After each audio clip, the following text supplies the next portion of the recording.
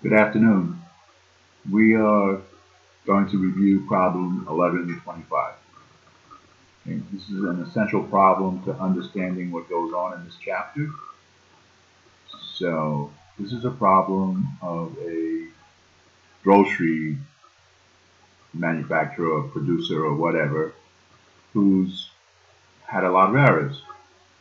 And what we're asked to do in this problem is to determine for each misstatement, identify one or more types of controls that were absent.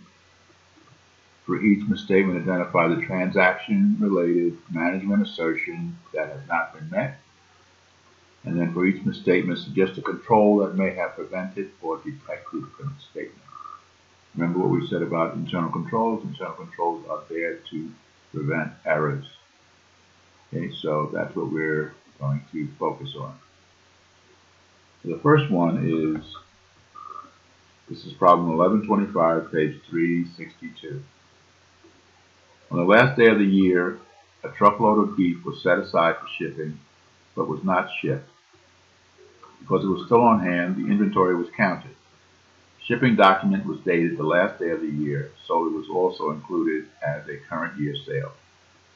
They want us to tell them, they want us to answer what was the control that was missing? What was the uh, management assertion that was affected? And how can we fix this? So let's look at the first one. First one, control activities missing were documents and records. We'll talk about the document in a moment. Transaction management assertion that was affected was cut off. And suggested fix is a simple sign that says don't count. That's what they were they were missing. They counted something that shouldn't have been counted. Okay. For the second one, says the incorrect price was used on sales invoices for billing shipments to customers. Because the wrong price was entered into the computer master file of prices, because the wrong price was entered into the computer master file of prices.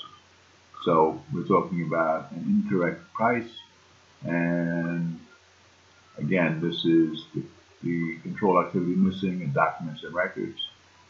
The assertion affected was accuracy and the suggested fix is that we make sure that changes are reviewed. Any changes that happen are properly reviewed. And that's the second one. The third one, a vendor invoice was paid even though no merchandise was ever received. The accounts payable software application does not require the input of a valid receiving report number before payments can be made. Okay, so here's a here's a situation where we paid for something that we didn't receive. Okay. Authorization is one of the controls, and documents and records are also one of the controls. Now, authorization, understand that software can authorize, make authorizations, and that's what's missing here. Software should be able to make an authorization and say, okay to pay. When you pay for something that you don't have, that's a problem with occurrence. Okay? And the suggested fix here is to reprogram the AP software so that it can't happen. Right? That's number three. Number four, employees in a receiving department took sides of beef for their personal use. When a shipment of meat was received, the receiving department filled out a receiving report and forwarded it to the accounting department for the amount of goods actually received. At that time, two sides of beef were put in an employee's pickup truck rather than in the storage freezer. I don't know how many of you know what a side of beef is, but it's a huge piece of meat. It's half of a cow. Okay, so these people are receiving this merchandise, and instead of putting it where it's supposed to be in the freezer, they're putting it in their pickup trucks to go home for a barbecue or something.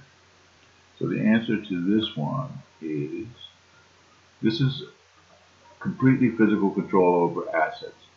they get this inventory in, someone should be making sure that it's going where it's supposed to go and not in these people's trucks. Again, we have a situation where we're paying for something that we don't have. We don't have this inventory any longer. It's in somebody's backyard. And the suggested fix is to, pardon the pun, beef up security. We need to have stronger security. Uh, okay, that's number four. Number five, an accounts payable clerk process payments to himself by adding a fictitious vendor address to the approved vendor master file. Here's a case of a clerk overstepping his limits and having payments made to, to him. Again, this is clear separation of duties. Separation of duties. Okay, and again, you're paying for something that you don't have, so that's a that's a problem with the occurrence, and you need to restrict the AP clerk. Have to fire him and hire a new one, and the new one would be restricted. Okay. Number six. During the physical count of inventory of the retail grocery, one counter wrote down the wrong description of several products and miscounted the quantity. I don't know how many of you have ever done um, inventory, but generally speaking, there's a team of people who are going around counting, and then there's a backup team that makes sure that they counted what they were supposed to count, and that it's accurate and it's the right colors and right description and so on. So obviously that didn't happen in this case. So the answer for number six is this is independent checks on performance. So this backup crew would independently check what the crew, the initial crew did. Here's a, here's a management assertion violation of accuracy. So whatever was recorded was not accuracy, accurate, and we need to follow up counts by staff. Follow up all counts by staff. That's number six.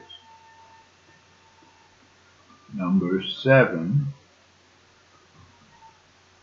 a salesperson sold an entire carload of lamb at a price below cost because she did not know the cost of lamb had increased in the past week. Now, this problem is very much like the second one. The second problem, if you remember, the incorrect price was used on sales invoices, okay, but there's an essential difference between number seven and number two, and that is volume. I don't know how many of you know what a carload is, but a carload is a lot of product. product. Carload is, a, we're talking about a freight car. Freight cars are huge, and this was a huge amount of, of uh, inventory that was sold at a price that was incorrect. So here we're talking about authorization. Someone should have been there to authorize this transaction because of the volume involved. Now, it's a real sale, but it just wasn't accurate. It wasn't accurate. The prices were wrong. We need to make sure there's a current price list and also that there is a proper authorized person here. Proper authorization. And the last one, last but not least, a vendor's invoice was paid twice for the same shipment. Second payment arose because the vendor sent a duplicate copy of the original two weeks after the payment was due. Okay. What's happening here? Here's a clear case of them not having the proper documents to pay their their bills. Okay, and the document that's missing is a receiving report. If they were using receiving reports, this never would have happened. So the answer here is documents and records. And occurrence, again, they're paying for something that they don't have because they paid for something twice. And the answer is to require receiving report. The fix for this is to require receiving reports. Okay? These kinds of errors are errors that the auditor finds during his audit, during her audit, and these fixes are suggestions made to management as to what should be done.